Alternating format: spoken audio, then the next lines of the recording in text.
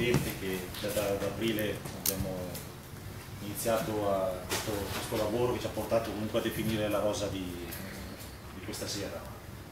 La rosa di questa sera è frutto un po' di, di decisioni che abbiamo preso in società, di conseguenza avevamo deciso di, di cambiare un attimino, di ripartire da zero, di prendere tutta gente motivata, con voi ho avuto dei lunghi colloqui, vi ho chiesto in particolare soprattutto di, di avere un approccio alla prossima stagione con, con, il massimo impegno, con la massima serietà, ho sempre detto di portare una mentalità professionistica anche se siamo una società dilettantistica,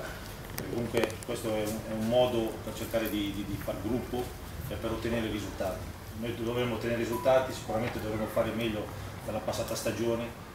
anche perché comunque la società Universal Solare è una società ambiziosa, i numeri parlano, comunque è una delle società più prestigiose della zona di conseguenza anche noi a livello di prima squadra dobbiamo cercare di mantenere questo range.